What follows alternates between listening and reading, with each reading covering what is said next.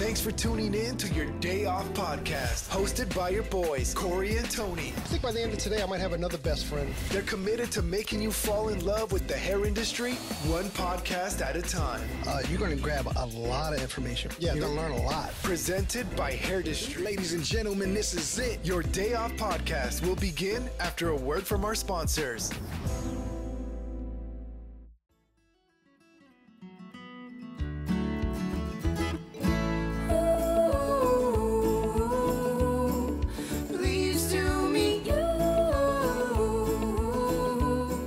Hey, hey, welcome to your day off. My name is Corey. And I'm Katie May. Supposed to say Corey Gray. Oh, I'm sorry. My name is Corey Gray. Katie May. All right, cool. There, we good? We good. Awesome. Got it. Hey, so uh, so we're um uh this is uh once again uh hopefully a short uh, uh, uh, uh, a short uh, a short podcast. I you up. for the. I know you totally messed me up now. I'm sorry. That's okay. That's what it is. Hey, uh, so um, once again, this is Vision to Venue. Um, it- it's it's our conversations about what we've learned when we've um when we've created these events. This by no far or any information that you get here isn't the only way to do it, but it's just the way that we've done it. It's kind of the learns that that we've made um along the way as well. I'm pretty excited about today because I think this probably should have been the first one, you know, but uh, but you know, Probably. exactly. It's, it's it's when it, it's when we're, we're at that dash between the vision and the venue you know we talked a lot Yeah. about vision before so we're kind of at that dash now this is kind of the work that it you know that it is that, that that you need to account for i guess Yeah. um and and you know again just some of the learns that that that, that we've learned along the way Had- learned- love it. yeah me too.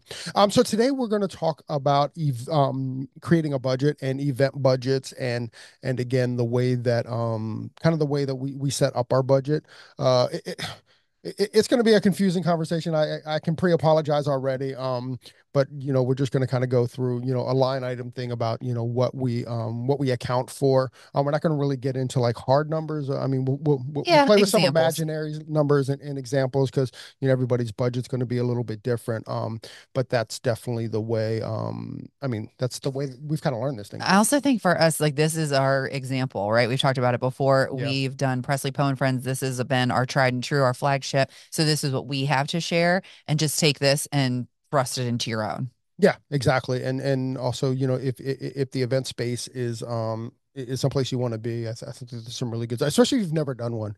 You know, Yeah. from from um we're doing our fifth our fifth Presley Poe and Friends, which is Woohoo. definitely, I know it's crazy to think about, but um which is definitely our flagship uh, uh event. Um and this is kind of what we've learned along the way. Um and I mean, w- I'm going to start off. I'm gonna uh, well, I'll open up with this and the from the very first year that we did this, what we didn't understand um, that we do now is that you can actually budget for your profit. You can actually budget for, and now it's literally the first line item. So we sit down and we go, okay, how much money do we want to make? And then we make that our first um, line item.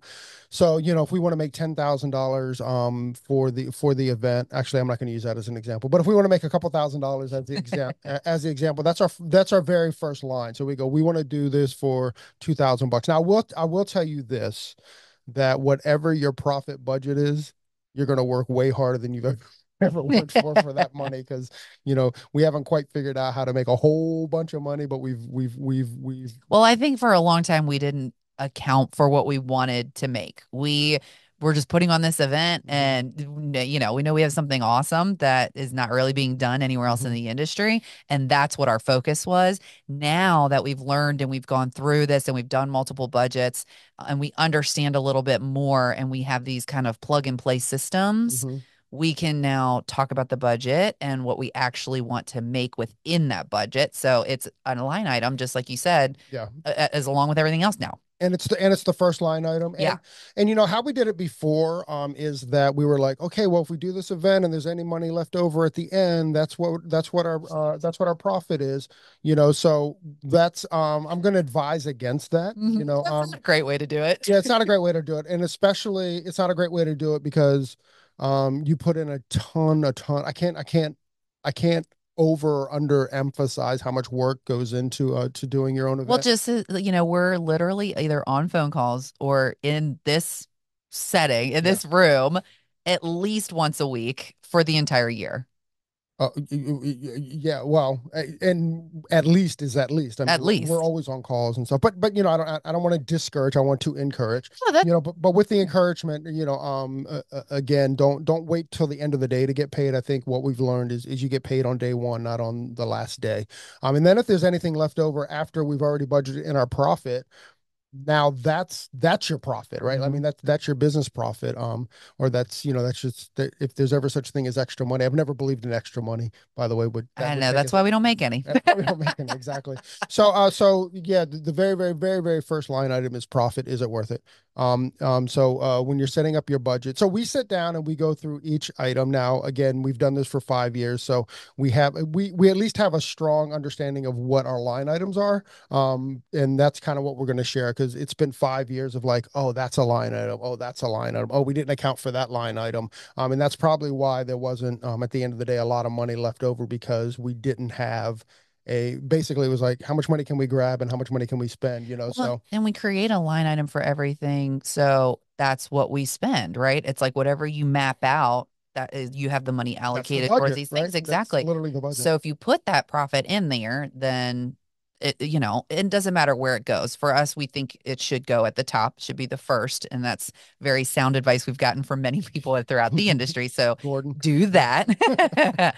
but, you know, if it's on there, then you're you putting money towards it. That's exactly right Mhm. you know and then it Yeah. becomes a line item right Exactly. So, uh, so the first big one actually is, you know, once you've kind of decided that you want to do an event, um, the, the the the first place is to go find a venue, Mhm. um, because venue is going to dictate a lot of where your budget's going to be. Um, because I'm telling you, like venues can cost you, venues can be from free to two hundred and fifty dollars to twenty thousand dollars. You know, like like like, um, venue is the big kind of like the big the big swallow right Mhm. uh, of finding the, the place and not just finding the place but finding finding the right place um and you know that that all depend on what kind of uh what kind of um event that you're going to do but the very very very first thing that we look at is like okay what's the venue where's the venue what's the venue going to cost us so um that's the first line item um that that we use um Oh, I'm going to backtrack a little bit. Sorry, Katie. I'm, I'm throwing this off. We're- Yeah, we're okay. over the place. Squirrel. Been doing a lot of that this morning I know. so um so it's really important and a lot of people do this you know they kind of set it up differently but what we've kind of learned too what's helpful is once we have a working budget so once we go through all of our line items and have and know exactly how much the uh the event including profit first um including all of that what we do is then that's how we set our ticket prices up. So it's not like this like arbitrary like like oh let's just do it for you know 50 bucks or whatever. Um, what we've learned is that if we do our entire budget and then uh, set our ticket prices up according to that um, that that that makes more sense um, for that. So what does that mean? Like if you plan on selling 100 tickets and you know your your working budget is $10,000 that means that every ticket that you sell has to be at least $100 now you know if you want to run some deals or something you know like let's say you want to do 10% off which would be a $90 ticket or you know 90 and some change ticket um, I would set your ticket price at like 110, just so you're averaging 100 bucks, whatever that is. You've got to get to that $100 per ticket um, cost, and then that's that that that's kind of your budget. And what that also does is then if you get any, if this is your route, like you don't have to get sponsorships, you don't have to work with brands, but if you get any sponsorships or brand um, brand um, support, uh, what what's really nice is now you can like maybe raise your budget a little bit. So Yeah. as we get into it, we're going to talk about like food and stuff. So you know you can I mean, I'm going to throw that over to you, but you know, like if you wanted to do like a a, a buffet, which is going to cost you like you know ten bucks a plate or something, um, and then if you get like a big sponsor and you're like, oh wait a second, maybe we can have this thing catered, or maybe we can have it plated, or whatever, then then you know that's kind of how we um our our extras is always about like again the extra money that we get from um from sponsorships, and that's Yeah. how we that's how we elevate it depending on sponsorship. I think we just kind of roll through the list and we'll just kind of add some stuff as we mention them. And these can be like kind of basic, a basic list for That's people. it. So our Let's do it. our first two line items are profit and our our venue Their venue. And Yeah. Those are probably the biggest anyway, right? No, no, no. I think the third one is our biggest. oh, come on. Oh, AV. Yeah. Yeah. Yeah. So the deal with AV, and you know, I'm talking from ego here a little bit, but like I'm always shocked at how much AV. Uh, yeah. Agreed. You know, like like I always think it's going to be like, oh, no problem, we'll set up a couple cameras and stuff. But for whatever reason, sometimes the AV actually costs us more than the, Yeah. the venue. Yeah. And it's, um, with the AV, it's one of those things we've talked about it before. You have to have it, but it's not like this glorious, pretty, glittery thing that you're adding to your show. It's just a It can be. necessity. I mean, we I did- our mean, AV last year was uh, was glitter, and we added to the show. Yeah, what you consider AV maybe is a little different from what I consider AV. I think it's a necessity and it has to happen. Yeah, and that also does that's just AV. So that's just like production. That's like setting the lights up. That's like having a camera on. It's it's it's having Mics. mics work and stuff like that. That if you're gonna hire like a DJ or you're gonna hire like a band, it doesn't include that. you Yeah, know? For A- sure. AV is just the ability to to, to do to do all To hook that. stuff up. So yeah, exactly. So AV AV is another big line item. Like I said, it, it always seems to be way more expensive than I think it is. And I'm not. By the way, I'm not saying it's overpriced. That's not. That's not what. No, I'm no, no, yeah. I'm just saying that it's. It's just more expensive than you think. Yeah, yeah, for sure. I mean, the first year that we did this, I was. It was literally more than the venue. It was almost twice Yeah. as much as the venue, and we were in a 1,200 seat venue, and it was almost twice as much just for the AV to then. Now, sometimes you get AV with a venue Mhm. that can be included, but don't think the price won't jump up because you're using their AV. I mean that, that that that that's a great point too. And Yeah. you know, with AV come people, so with AV comes people that you now um that you have to pay. Yeah, know, and, yeah, and, and and AV people aren't cheap. Yeah. Nor so- should they be. Yeah, no, no. And then, so of course, DJ, we said, and uh, photography uh, or videography. Mhm. That's always important, even if you're only having 10 people there. You need lots of images and, you know, it's proof that it happened. Mhm. and, and and with the photography, um, not so much with the DJ. I mean, I think the DJ just creates the ambiance of the evening and, and, and what it is. But again, it's not something that you have to have, but it's something that we have, and and and, and you know that's how we do up hottie there. Yeah. um, uh, uh, videos and for in, in in in photography. Again, if you have somebody that's really great at that, that they can capture it. I mean, it doesn't have to be fancy. You can do it, you know, literally right from your phone. If you have Yeah. Or like interns from the local college. Like they're, you know, the, the, you can get a lot if you get two or three of them. You could get them for like 200 bucks for the whole night, you know, and just get a ton of images, but you know, you'll get at least something you can use out of that. And when when you work with a photographer, they're going to ask you for a shot list. So uh, just a little Yeah. information about that. That's a great Um, point. So uh, y- um, you know, kind of think of what your shot list is. What is that? You know, for us, it's like make sure we get pictures with the artist. Make sure we get pictures with the with the attendees and the artist together. Make sure that we get pictures of the attendees having fun. Um, but most importantly, if you're working with brands, have a shot list for all your brands, and and you know how how how are the brands being represented, and give that those shot lists to your photographer Well, and what's cool about that is with the sponsors, you know, on the higher packages, you can get, offer them the, the images that you have that go with like the higher ticket priced sponsor. Does that make sense?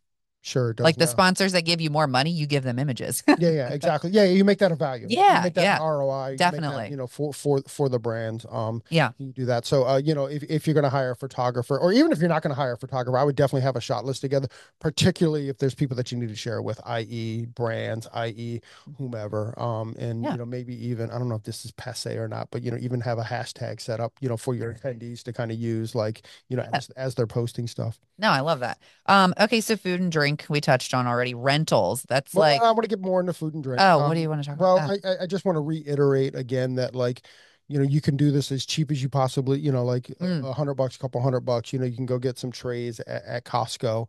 Um, or, you know, if you get some nice sponsorships and then, you know, maybe you can have it um, more catered out. Now, with the cost of that, you know, we, what we've had is we've had the cost be, you know, a couple hundred dollars, you know, whether we're getting bagels at like Einstein um, bagels, or it can be, uh, you know, four or five thousand dollars if we're having like um like lunch boxes catered, or even more if you're having like an actual plated or seated dinner.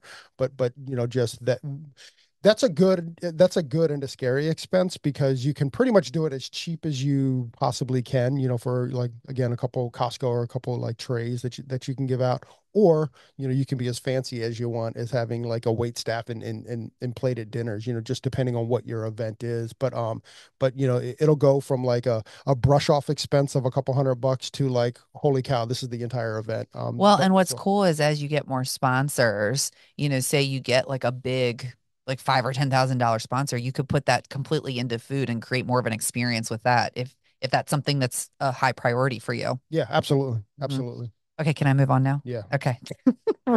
uh rentals. Rentals is a weird thing because it's also things that are don't make it fancy or cool, Mhm. but like we or, or things that we rent are um like red velvet ropes that kind of mark stuff off or trash cans, Yeah. like big gallon, five gallon, you know, whatever.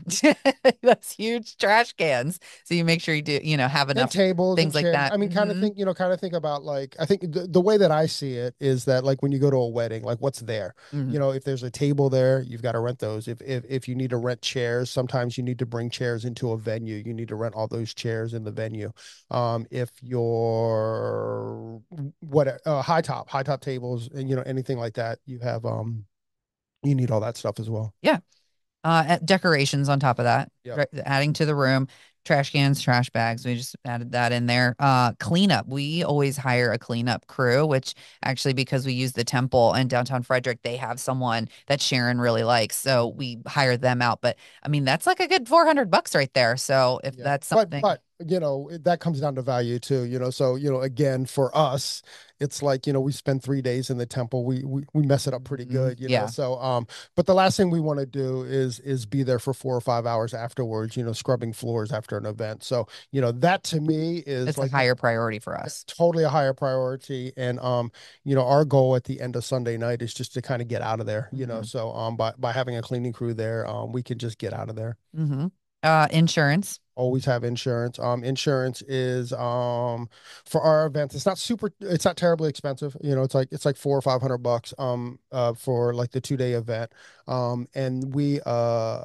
And for the two day event, it, uh, again, it's just peace of mind. Like, you know, if anything, as a matter of fact, most venues and the temple, um, they they require that we have insurance. So that's not that's not a that's not a here or there. You know you have to buy insurance. And even if they don't require to buy insurance you know for a couple hundred bucks i would buy the insurance. It just it, it's peace of mind. And, and if Yeah. anything if somebody falls down a step or something like you you don't want to um, you don't want to own that. Yeah.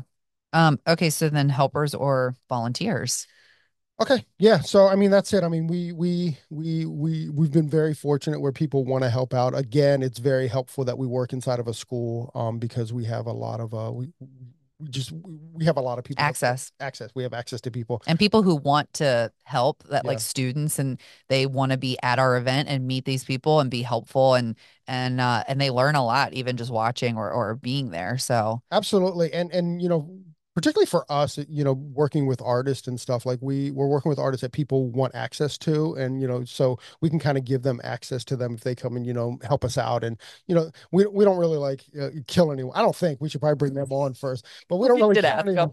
I know, but when it comes to Dre, Kristen. Know, right?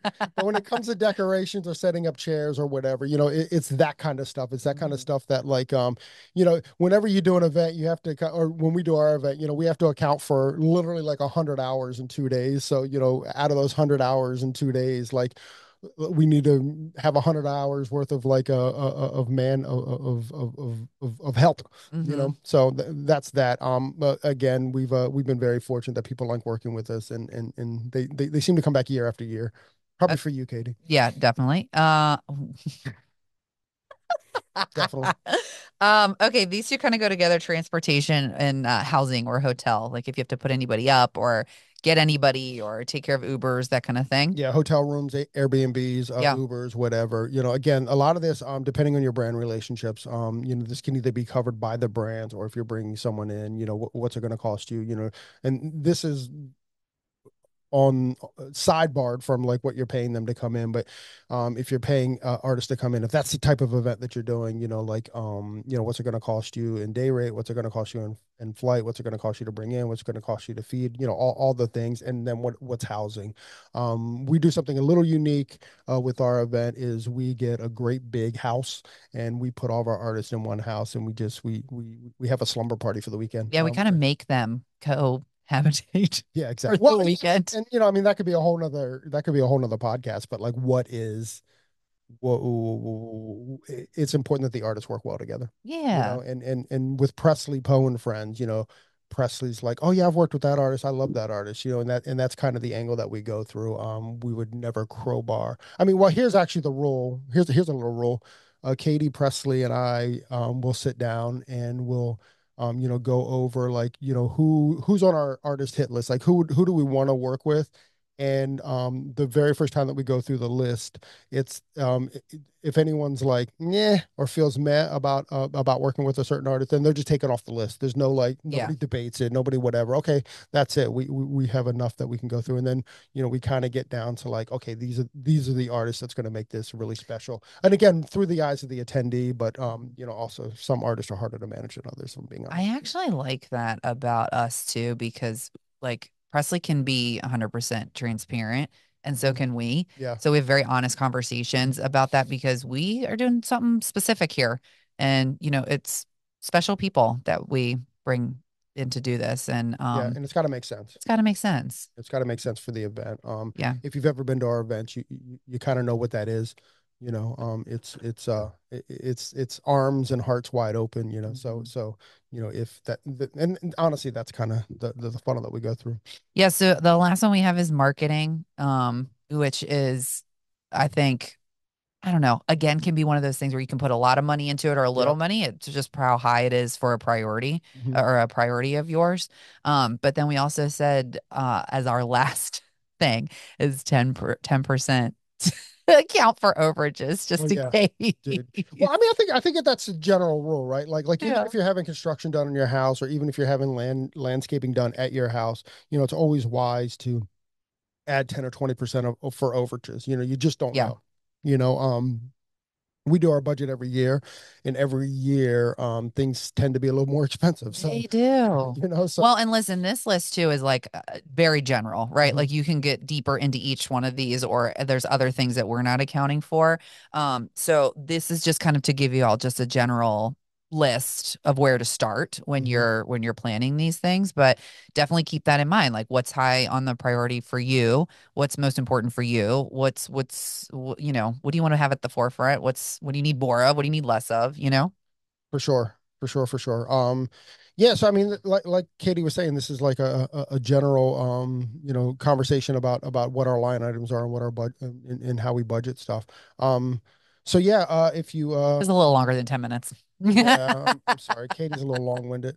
But, but yeah uh uh once again i hope you find value in this. Um please reach out if you have any questions or Yes, or- please send us the DM so we can yeah. answer questions or elaborate on things, whatever you guys want to hear about. Yeah yeah for sure let's definitely do that so uh once again i i love the name by the way vision to venue I you know so know. on- once again this is our vision to venue you know uh budget thoughts i think budget thoughts right like, like how are you thinking about budgets all right thank you guys hopefully you found some uh, some value in this and until next time bye Bye. oh good luck with your event good luck with your event Oh, There yeah. go. Good luck There you go. yeah, yeah.